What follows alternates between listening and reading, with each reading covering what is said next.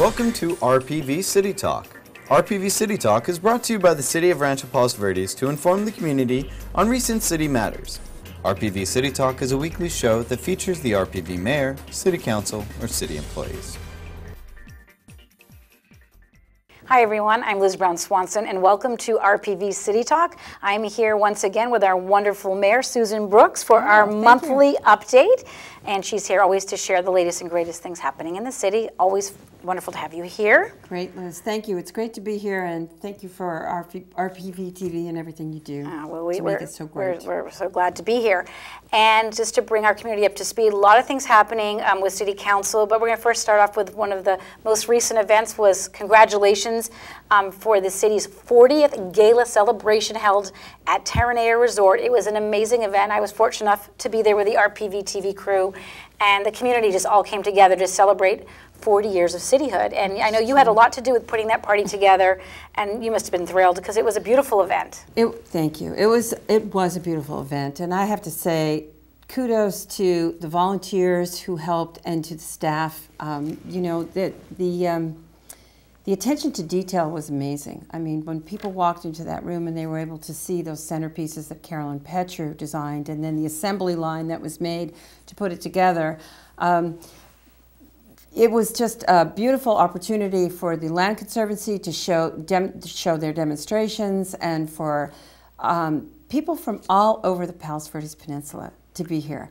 Uh, we had people from Palos Verdes Estates, not just city officials, um, Rolling Hills, Rolling Hills Estates, and Rancho Palos Verdes. And after all, um, if it weren't for all the other peninsula cities, Rancho Palos Verdes would not be here. And if it weren't for the League of Women Voters and those wonderful women, um, Dina Friedson and Betty Field Strauss and Barbara Gleghorn Right. and um, Dorothy LeConte and Helene Drown, and I could go on and on, but there were a lot of women who were very instrumental in getting the city started. But Fred Hess, the mayor of Rolling Hills, you know, he put so much into it to see to it that all these properties were assessed to help towards incorporation. But when you think about it, 43 battles, Liz, um, it's no wonder why we're still celebrating at 40 years. Um, some cities might not think that's such a great deal, but we went through, well, I didn't, but the original people went through so much just to get the city incorporated that it really is a celebration. And it's really worth celebrating when we look around today and see what we see. Absolutely, and of course your theme was 40 and fabulous, um, and it was a fabulous night.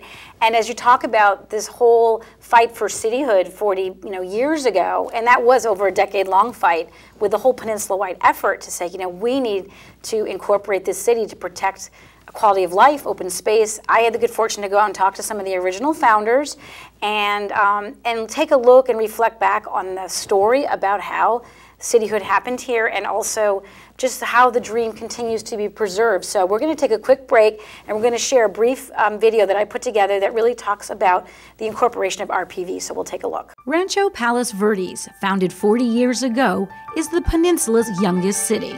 It is paradise, as I keep saying. You know, it's, we live in paradise. what's not to love in RPV? You know, you have uh, uh, the coastline, the beaches, the trails, the preserve, the school system, the neighborhoods, the people. RPV's story is exciting. Long ago, Tongva Indians, Spanish explorers, cattle ranchers, and farmers lived off the land. A promised land sought out by New York investor Frank Vanderlip. Vanderlip bought the entire peninsula, sight unseen, a hundred years ago. And he came out here in a private railroad car with his family to, to see it. And they basically took a, a car and they came over the top of the hill. And there was nothing out here, and it was just absolutely beautiful. By 1957, there were three peninsula cities when a peninsula wide movement began to form a fourth. Residents feared massive development in the unincorporated area controlled by LA County, and they wanted local control. We had to raise the consciousness of a lot of people. My role was to um, get the news into the newspapers uh, as frequently as we possibly could so that we could uh, let everybody know what was happening at the county level. The League of Women Voters, the PV Peninsula Advisory Council, and the group Save Our Coastline joined forces, Rolling Hills Mayor Fred Hess, activists Dorothy LeConte, and Gordon Curtis led the 10 year battle with the county. People were very determined. Everybody Barbara and Betty talk about the excitement. I really think about the determination of everybody.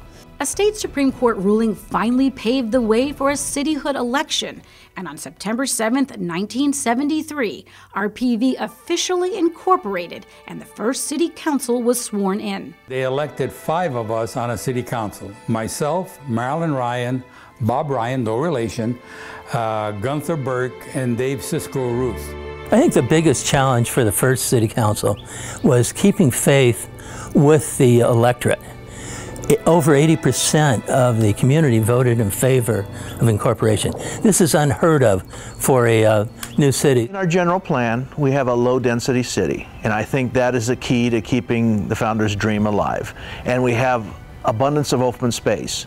We have beautiful views, we have open space. I very, very much rely on the relationships that I've got with some of the original founders to help me steer uh, uh, what we do today on the council. Preserving the founder's dream continues, a landscape protected for generations to come. The celebration of, of preserving equality of life. Uh, and I think that's something that many people, many communities are fighting to struggle to hold on to. Uh, we have such a strong sense of community in my neighborhood and I think throughout the city. I'm really honored and we are really blessed to be here in Rancho Palos Verdes. You know, Mayor, in putting that segment together. Of course, I talked to all the council members like yourself about preserving the dream, but to be able to sit down with some of those city founders that you know brought me back in time about that hard fight, and then just have some of them were at the gala. Yeah. It was really, really special. You know, Dina Friedson was there, and also Betty Field Strauss. Unfortunately, Barbara Gleghorn could not make it, but um, she did give me a call this morning to say how thankful she is at the city and that we are reminding and continuing to tell people about the story about that we don't forget how hard it was to have what we have have here today. That's a good point, uh, Liz, because people have to remember that Googling Googling names from the 19 early 70s or anything prior to the internet, particularly municipal government names, as I pointed out the other night at the council meeting, if you're um, you know, unless you're Huey Long or somebody with a right, you may not a, find out with a uh, record, so to speak. Uh, you might not find out too much about what they've done. But yes, I think the fact that it was 43 battles and 43 times, but it was clearly a wonderful evening and uh, clearly worth fighting to keep, um, maintain the semi-rural atmosphere. But when you think about that evening we got I got a phone call a couple of days prior.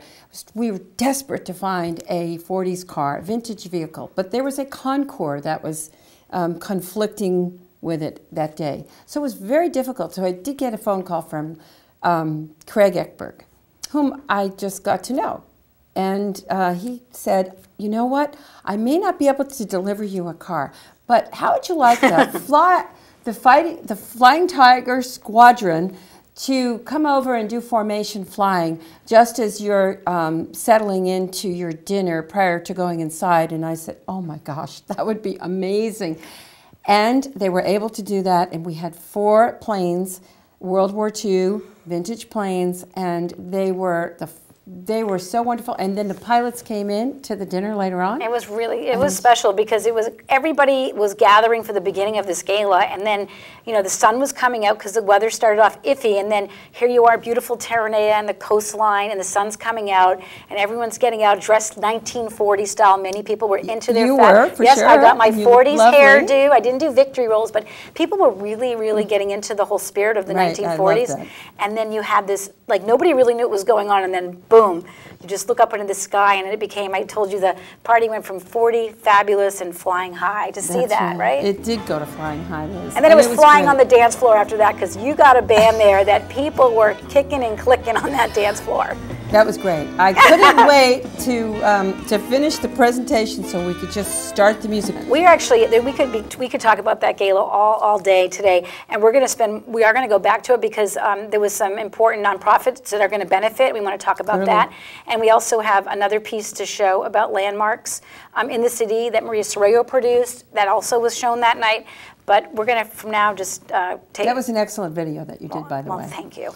I Very, really appreciate that. Um, we're now going to move on just to talk more about uh, big issues happening in the city. You've had so many things going on in the recent council meetings. We I don't know where to begin, other than we'll start with the most recent. Intense meetings, long, um, with a lot of activity. A lot of activity, a lot going on, and um, hopefully they're um, all for the best, int- clearly all for the best interests of the people of Rancho Palos Verdes. Right. And what residents always, you know, what you really they want to want to know about is quality of life, safety, um, those issues. And crime has really come up recently at your last meeting, um, sort of setting the record straight so that people understand. There has been some discussion about um, where, where the crime statistics are right now in our community. Why don't you share what you do know about crime in RPV? Sure, I can tell you that um, Councilman Misetich and I are on the uh, Regional Law Enforcement Committee. And we share on that committee together because we share the Sheriff's Department with the cities of Rolling Hills Estates and Rolling Hills. So, um, and Palos Verdes Estates has its own police department, for those of you who may not know that. But we have a very high quality Sheriff's Department, and uh, we have a very safe community. There are always occasions where you have occasional spikes in crime. And we have been ever vigilant to be watching for, with our quarterly reports, monthly reports have come out, and um, information came out in the month of March. There was one of those spikes in crime. And um, we're talking about, like, when we look at um, numbers of people, you know, when we talk about robberies, for example, we're talking about four. So in the total first quarter. And we're not talking about huge numbers for 42,000 people. Actually, and it's, it's really quite low.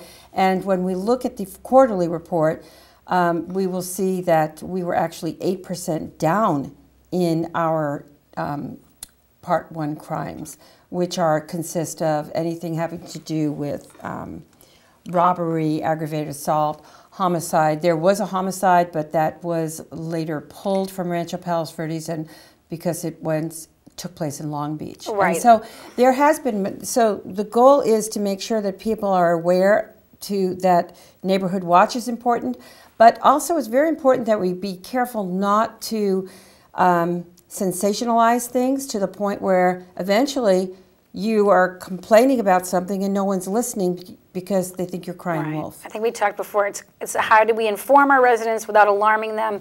That's what you need to do. Very and clear. statistics, you know, can tell you anything you want. So, you know, when people might have heard that in the month of March we saw crime highly spike in, in our PV, but the big picture is the whole quarter. It actually decreased 8%, and that's the number that really, Yes. really means something. I mean, they'd all mean something. One crime and, is too and many, if you say that th- there was a 61% peak and you're talking about a handful of numbers, that's another issue. In addition to that, when you look at the actual crimes, they get culled at the end of the month. So something might be like uh, gardeners stealing from other gardeners, which does happen often, or um, uh, an incident where there was a shoplifting case in Marshalls in Western Avenue, and the woman ended up pushing into someone else, so that was considered robbery. Um, you have to, these get culled, they get changed. In fact, the March statistics, they sift through them, and um, that's why looking at the averages is always better. But clearly, we always want to make sure people see crimes of opportunity are really. We just came from the sheriff's meeting this morning, so this is really an opportune time to discuss this.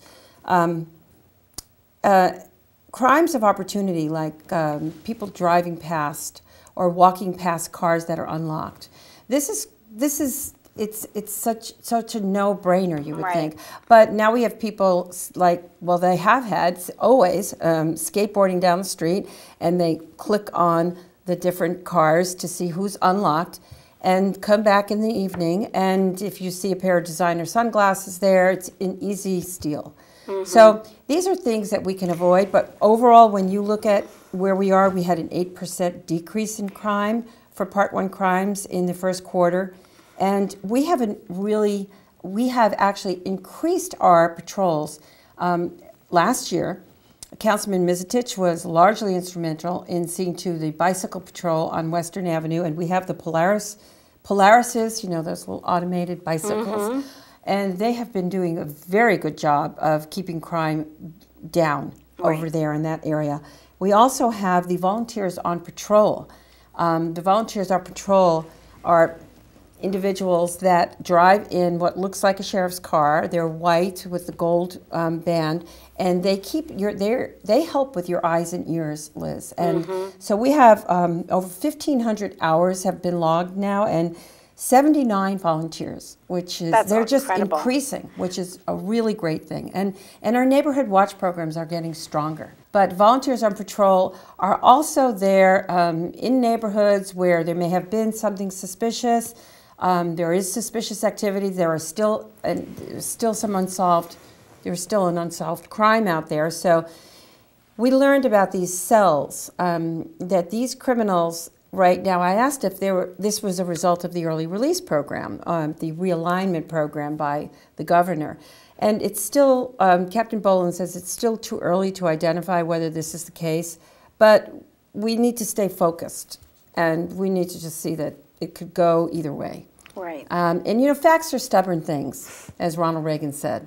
So I think it's important to keep the facts in perspective, because if we start to, as I pointed out earlier, you know, we just have to make sure that um, we don't say that the sky is falling, henny penny, chicken little, because the fact is we uh, live in a very safe community and we're really f- blessed to be here, but we are also. It is important for us to be ever vigilant. Well, that's that's sort of the catch twenty two. I think when you live in a community like RPV and you know you're the second safest city in all of LA County for sure, then your guard can be kind of down, right? I remember when I first moved here, I honestly would say, you know, I barely, I never hardly, I didn't lock my house. But now, of recent, I thought, you know, you, that's just like you saying, making a crime of opportunity for someone. You need to lock your, you know, doors and your car and all that. So, Right. And, So- and we won't, so we won't know about whether or not those early release programs are, but we also increased a traffic safety patrol officer. And uh, that really has proven, actually, it, it proved just last week to be very helpful with, um, in helping some senior citizens. Right, that was So- with Officer Knox. And I don't know if you wanted to talk about that situation because it's what happened with him is there were two seniors that were Yes. locked, were in their home for several days and, and needed assistance. At least two days, these, these two seniors. And um, actually, one of our employees here, her mom, uh, was one delivering Meals on Wheels. And uh, she, she saw that there were left meals left at the front door and knocked on the door and this, she heard sounds and they said, well, we're okay. But they were both on the floor and two elderly people. And um, Deputy Knox came and he was able to um, gain entrance, I think, together the with the fire fire, department came, yeah. And so um, they were taken to area hospital. And yeah, it's very important. And, and we are looking into now creating a program, um, probably a volunteer program. I'm working together with, uh, going to be working together with Susie Seamans. To, we're looking into what Palos Verdes Estates has. They have a program called PVE Cares. And that is run actually through their police department where they check on homes and they check on individuals. We're looking at perhaps we may be able to do something um, even with volunteers on patrol. Right. This type of a thing through the sheriff's department or through the community volunteers. But clearly, I can tell you in my neighborhood, we have established we establish programs or we establish relationships with our neighbors so we know to check on them. Right. because we are the aging of the peninsula. We are graying and aging. And people don't want to leave their homes. And if they don't want to leave their homes it's really important that we have a sense of community because this is going to be the community of the future. No, absolutely. we're and- all going to be And the, our seniors are unfortunately, you know, most Mhm. vulnerable to uh, being victims of crime in all, in all different ways. I know I have a 90-year-old next door neighbor, and we collect her mail every day, and we, you have to check very in. important Things like that. So, and they're more vulnerable so Yes. very important all right. Anything in the area? Obviously, safety. One of the, your, you know, one of your biggest concerns as a mayor, and and that you want to talk about. We can move on to some other stuff that has been coming up. I think we kind of covered it. I, I think we Yeah. kind of covered it. I think it's really important just for people to know that um, um, it's this is paradise. Yeah, it's not heaven. Yeah, there you go. and you always say, so there's always still room for improvement, even in paradise. Um, last council meeting, one of the big issues that came up was uh, what Marymount, um, they were looking for an extension with a permit. It was granted. Talk about what Marymount, what's going on with Marymount in the city right now. Well, it's been going on for over 10 years now. It's it's been up and down and all around the bend, and it's been very confusing for many many people. Um, and I have to say that uh, the council on uh, Tuesday night decided to grant the extension request that they had for they had three phases of this project, seven years, and really they're they're the only ones that have been granted this kind of a phasing in project. Um, but the problem is that the projects change and change and change, and there have been so many requests and so many changes that right now we're not sure whether or not they're going to be able to meet their requests, the demands, um, by September 30th, which was their one year date. But they're requesting a modified field, uh, athletic field, and that is that has to come through under a separate request. Um, and that is very significant because safety is a huge issue, and uh, all of the basically, basically, I think all of the council members expressed that that safety, um, of course, was a key concern. Mm-hmm. Um, so there were tennis courts in the original field. The modified field that they're seeking does not have the tennis courts in it, and those tennis courts were put there to be a buffer for soccer ball, balls to keep them from flying into the curve. So um, It's one of those stay tuned. It keeps. but also, you know, the grading, they have to do the grading, demolition of buildings, grading, utilities, facilities.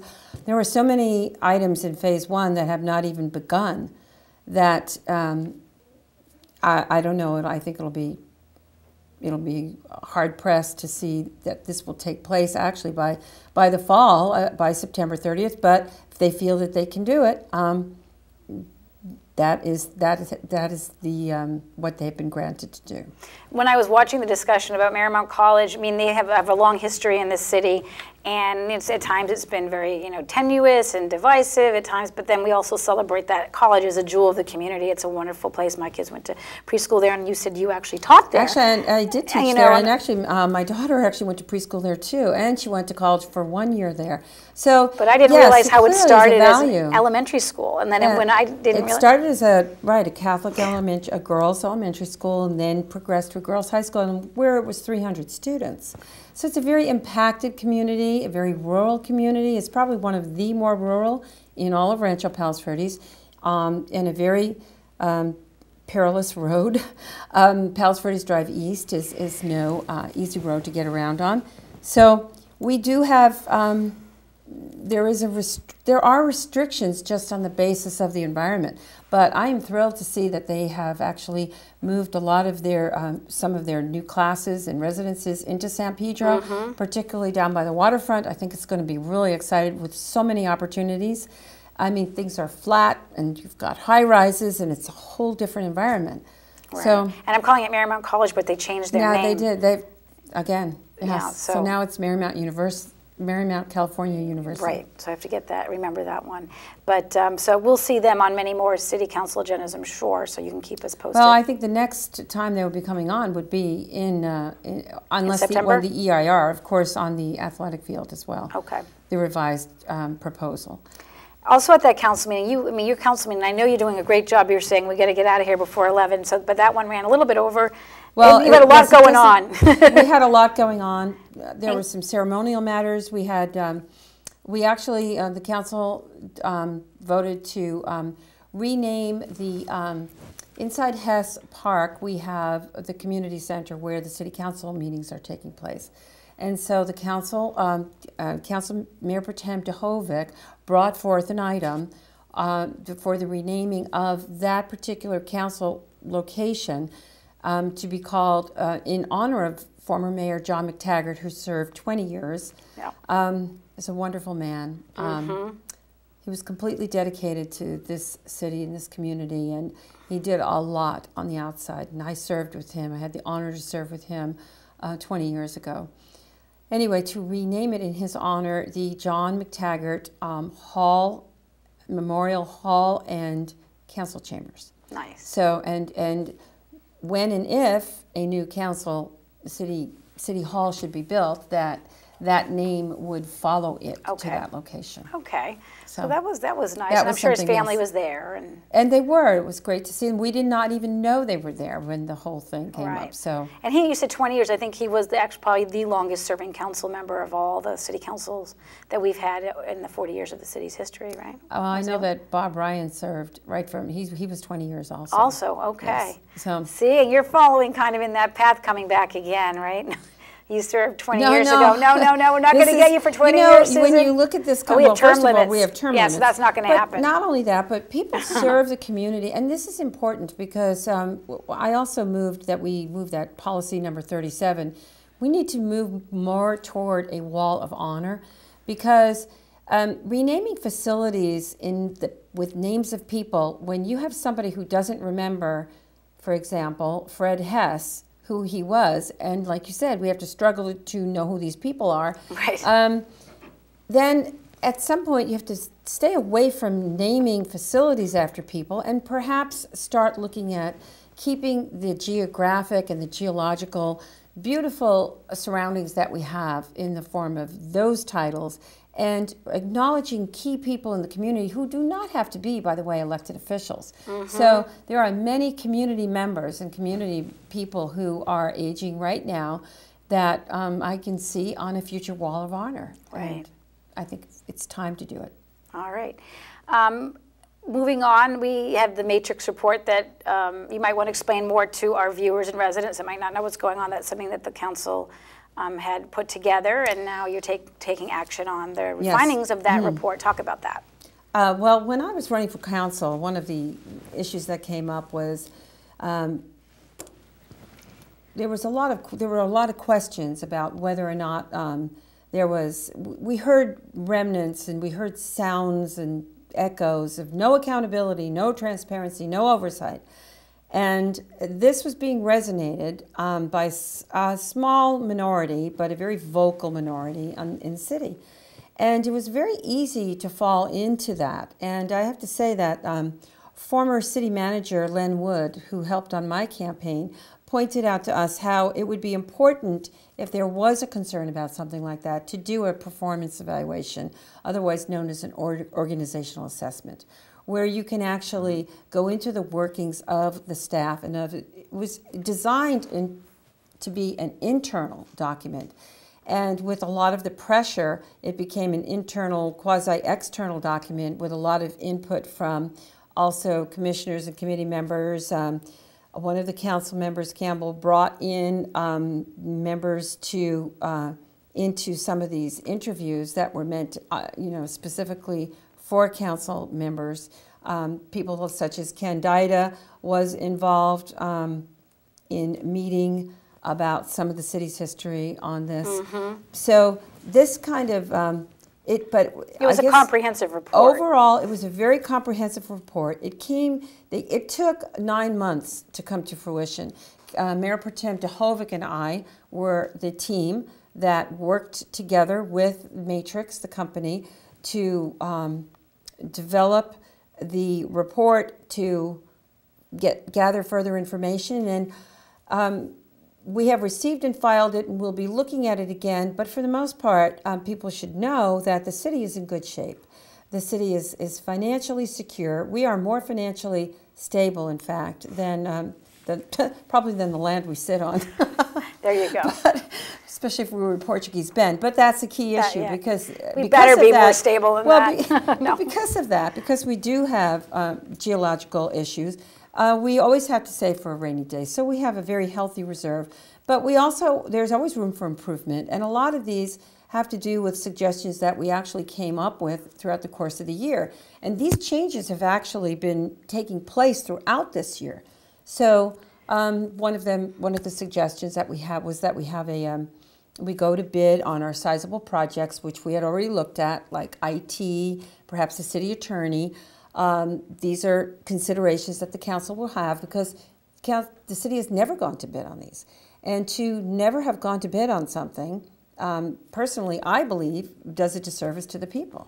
So um, you never know what you're going to get, even with a service that you may have and that you want to Right. Uh, in the form of um, doing an RFP. So, So- you've got that. Some of the other findings had to do in terms of staffing needs. And our staffing needs were all found to be adequate. And actually, the council did put on hold and they did freeze some key positions. So we had some council, we had some staff members like um, Carolyn Petru, our deputy city city um, city manager, who has basically worn every hat at City Hall. Um, she was also Parks and Recreation. She was she wore about three hats.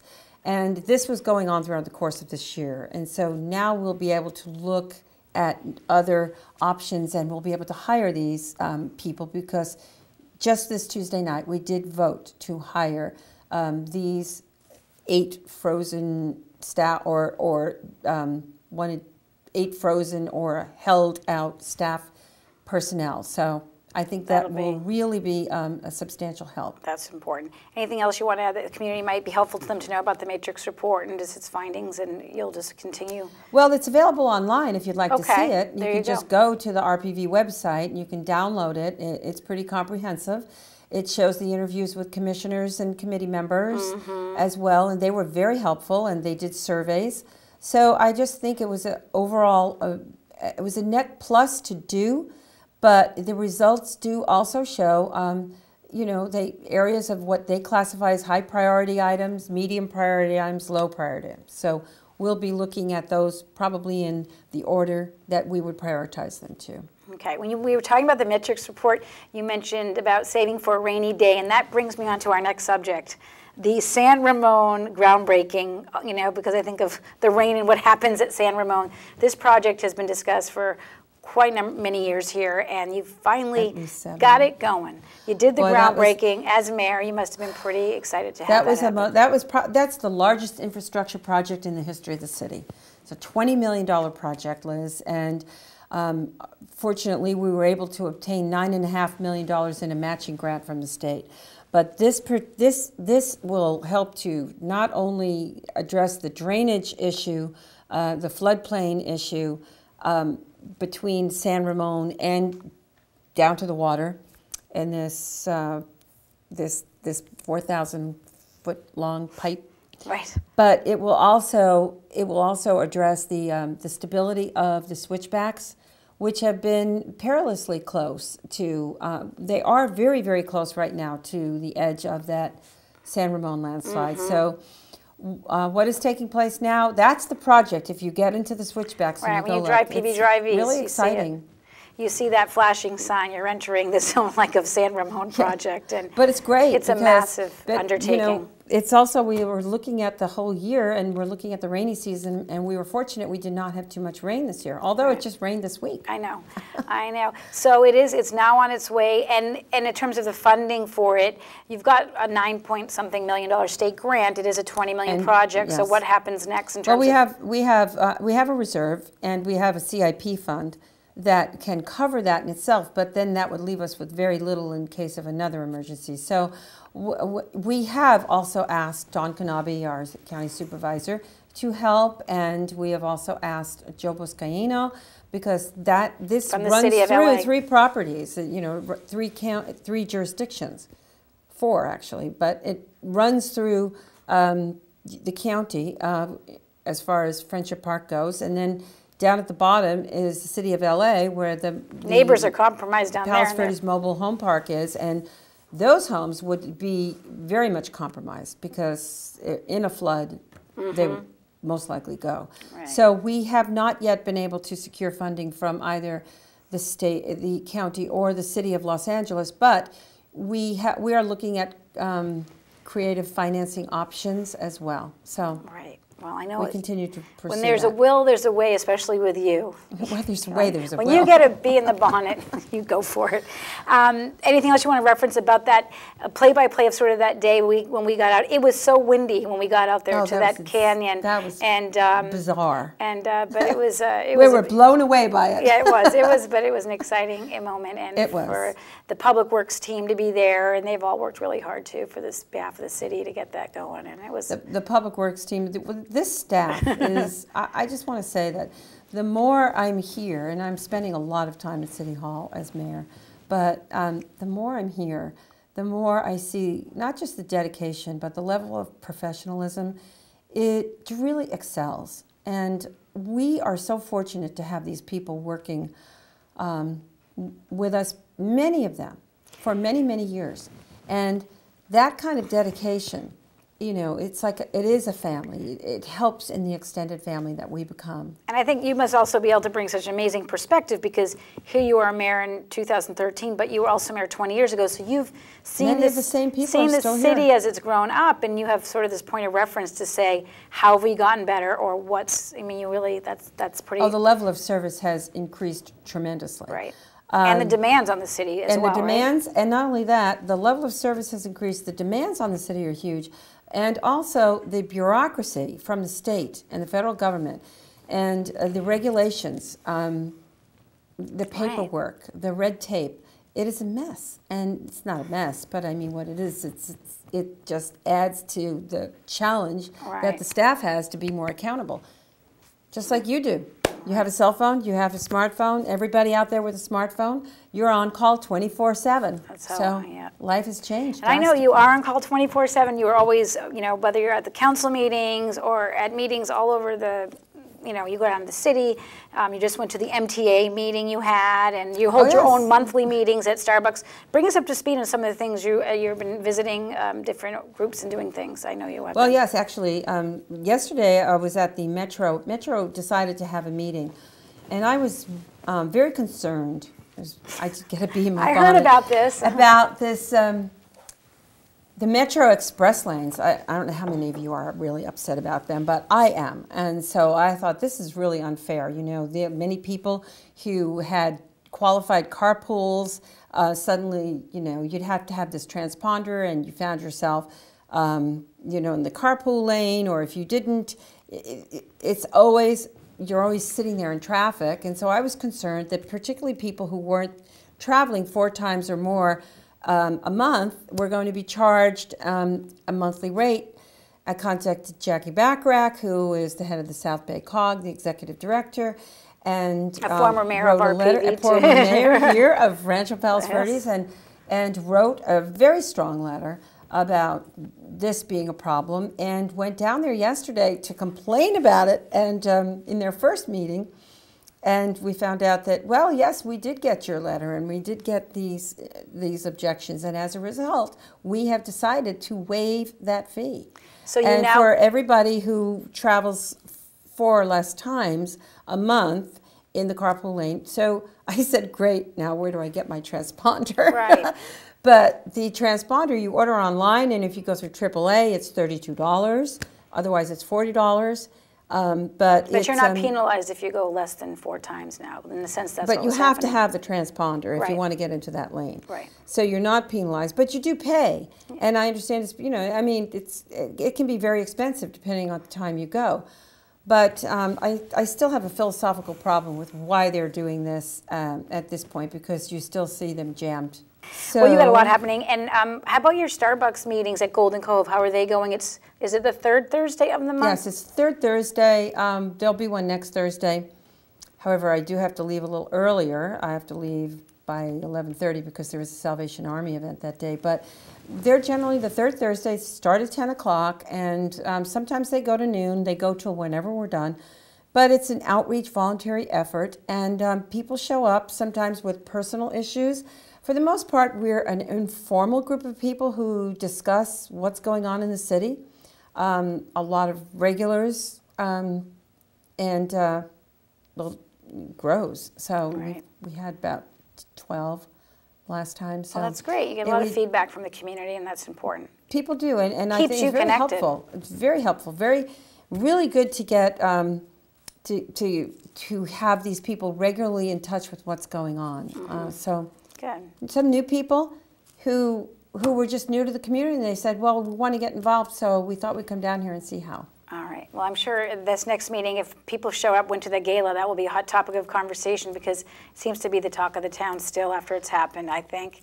That was so much fun. And that was um, just great. And I brought it back up again because one thing I wouldn't at the beginning when we were talking about the excitement of the party, um, two really important organizations in the community were are going to receive some of the proceeds from that event, um, which are the uh, Los Serenos de Point Vicente, Yes. the docents over at PVIC, their organization, which does tremendous work for the city. um, by being the docents. And then also uh, Palos Verdes Peninsula Land Conservancy, who celebrates 25 years. It's their milestone as well. And so they're really, really important organizations that, that really serve our community well. They are, and it was, um, it was a good, it was a suggestion that a portion of the proceeds go to them, and as a result, we'll find out just how much is going to them. But um, I think that the, the budget on this particular item was was really well accounted for because I was we were able to get some of these services um, donated. At know, the- at the gala. band was donated by people, by the way, Ruben and Tammy Garcia. Hills, right? They are new friends of mine. They live in Rolling Hills. They don't even live in Rancho Palos Verdes. Right, because of all the in-kind donations. When I heard that band, I just said, "How do we get that band?" And I found out they were pretty expensive. You know, so So you got a lot they of were able to make that Yeah. contribution. So with that kind of assistance, it'll, hopefully there'll be more when you figure out that maybe that you'll be able to donate to the, um, the two organizations. Yes, absolutely. That's exciting to Which, which out. will be, which would be terrific. And they are part of the city, and so you know clearly when you look at what makes what makes our city who we are, that interpretive center and the conservancy. I mean, you know, Right. And of course, Terranea really helped host the party as well while oh they my did. gosh, Terranea was Terranea just you know it, it's another world. It's like we could be going to Fiji, we could be going anywhere else, but you don't have to. Just go spend a couple of nights at Terranea if you're getting homesick. Uh, you're just getting you just Yep. want to get out of the house, Or- go traveling. Or do what I did this morning Go with my husband. We did our nice walk along the trail there. We kind of go between there and Trumps. We live closer to Trumps, our walk. And then we go to Sea Beans for our coffee. They have great coffee and great breakfast sandwiches in that little Sea Beans at Terranea. We have a special video we want to take a break and show that That'd really. Yeah, that's highlights these wonderful landmarks and attractions that make RPV so special. We showed this video also at the gala. It's produced by Maria Sorreo. Yes, so we're going to great roll that video. right now. Rancho Palos Verdes is a jewel on the coastline, a city that garners breathtaking views, miles of open space, and landmarks that attract the world. One of the most recognizable landmarks is the Point Vicente Lighthouse, which stands tall along the bluffs and is a true symbol of the peninsula. The lighthouse was built in 1926 and is operated by the Coast Guard and is on the National Registry of Historic Places. Next to the lighthouse is the Point Vicente Interpretive Center. People come from near and far to watch the migration of the gray whale. I have been a docent for 20 years, so I've seen lots of changes, and it is definitely the most wonderful place on the peninsula. Just across the shore from the Palos Verdes Interpretive Center sits the Terranea Resort, which reflects the beauty and history of the land in Rancho Palos Verdes. There were many, many architectural drawings, and we really looked at how the land kind of cascaded down. We feel privileged to be on this site in this land, and we're part of a broader community. Everyone's welcome, and they can walk the pathways and feel like this is really their property. And before the spectacular property was Terranea, it was another treasure in the community called Marineland. We were actually startled at how many people were involved with Marineland over the years.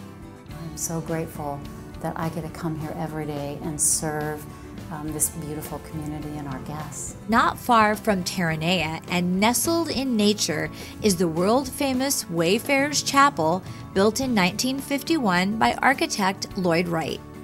The Wayfarers Chapel is a Swedenborgian chapel, and people come from all over the world to get married here and marvel at the unique architecture. Across the road from the Wayfarers Chapel is Abalone Cove Shoreline Park. It's one of nearly 20 parks run by the city. Abalone Cove, or Ab Cove, has two beaches, tide pools, hiking trails, and picnic areas along the bluffs. No matter what park you visit in RPV, you will find beautiful nature surrounding you. And just down the road at Trump National Golf Course is Founders Park and Marilyn Ryan Sunset Park, which have spectacular views. And speaking of spectacular views, You won't find a golf course anywhere that's as stunning as the views from Trump National Golf Club. Every single hole is either on the ocean or a view of the ocean, and there's no course like that in California. The city has been really spectacular. I mean, they want this to be the best. They're very proud of it, and we appreciate that, and we've really had a great relationship with them. The Palos Verdes Peninsula Land Conservancy has enjoyed a long-time collaboration with the City of Rancho Palos Verdes, working together to preserve this wonderful open space, which is the 1,400-acre Palos Verdes Nature Preserve. This is such a community treasure and landmark. It has amazing trails running through it with great habitat, wonderful scenic vistas, and lovely wildlife.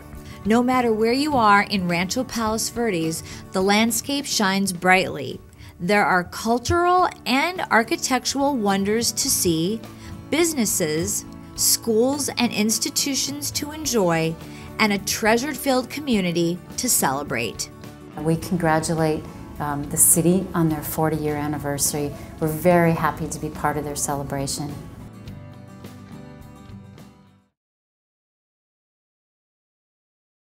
Again, I want to thank Maria Soraya. She did a great job showcasing just the amazing landmarks and attractions. We are so lucky to live here. I mean, it's just one after the other, whether you're at the lighthouse or, you know, you travel down the coastline and you take in that open space. And I'm wondering, what do you have a favorite spot that sort of speaks to you? You know, I do. I really love the Wayfarers Chapel. I think that it is a place where, particularly when you need to get away, and you just want to get some serenity and peacefulness, to be able to get out of the car and walk over to the edge and look at an Inspiration Point um, and look back at that magnificent building. My father in law, who was a Major General in the Air Force, we had his, um, he lived up in Washington State, but we had his funeral, um, his memorial service down there at Wayfarers Chapel, and he was they gave him a 21 gun salute. And I think about that. And I think about all of the wonderful activities I had bringing my children up on the peninsula here. Um, it was it, the way that chapel is with the tree of life in the center that Frank mm -hmm. Lloyd Wright Jr. designed. It's magnificent. And uh, it can't be beat. I know. I had was fortunate enough. I worked at that chapel for about a year, helping them with um, programs in within the chapel. And every day, I just would just. It takes your breath away to be up there and. Um, it is so special, and what I love so much about it, it being called the Wayfarers Chapel, it's really there for the entire world and for the community. There's no membership, right. and mm -hmm. even though it's a Christian denomination, they're they're really their mission. They say is two words: do good. Right. And it Swedenborgian. does. I love yes. that, you know. And there's so much that it does good, better than good, and so we're, you know, and it's just a great place to pause, you know, and take take and appreciate what you have in that setting. So. Yeah, it was beautiful. Yeah. But that, I would say we that. are, you know, we still everywhere we go. Like my backyard was featured in one of those videos. And yeah, and you have. You didn't know that, but I love the the flowers, the flora, the fauna, and nature. So if I can attract butterflies, um, hummingbirds, um, you know, all the better. All right. I just don't want the raccoons. Well, as we, we, we, wrap it up on that note, we, um, we end with, you know, the city's 40th gala we started with, but this is a year celebration, right? We're 40 all year long, and there'll be more things to come. You know, the 4th of July party, that will kind of still pay tribute Absolutely. to the founding of the city. And of course, the official founding is September 7th. And this will be the first time in the history of the city, by the way, other than the day, the original day, to my understanding, that we've actually had an event on September so, 7th. So that. So, yes, that is, that will be some type of event still in the works okay. at Trump. It's always great to have the mayor in here with me and uh, bringing the community up to speed. We'll see you again next month. It's great but until then, thanks for joining as us. always. That's going to do it for this edition of RPV City Talk. I'm Liz Brown Swanson. See you next time.